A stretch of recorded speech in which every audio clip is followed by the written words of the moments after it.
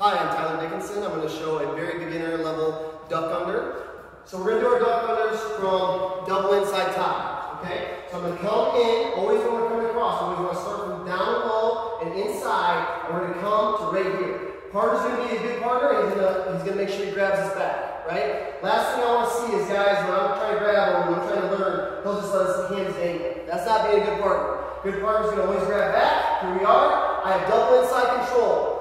Now we're going to do um, an outside step uh, duck under. So what I'm going to do is I'm going to take my front leg, and that's going to go down to my knee. I'm going to think about pulling him over top of me as my I do an outside leg step. Ready? Here. Okay?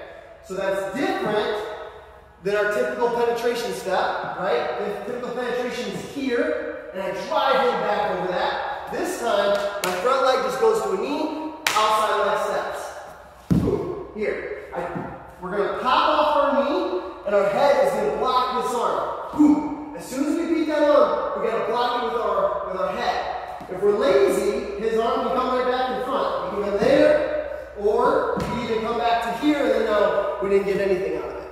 Okay? So double inside tie, he's a good partner. Outside leg step, boom, here, pop off that knee, and then.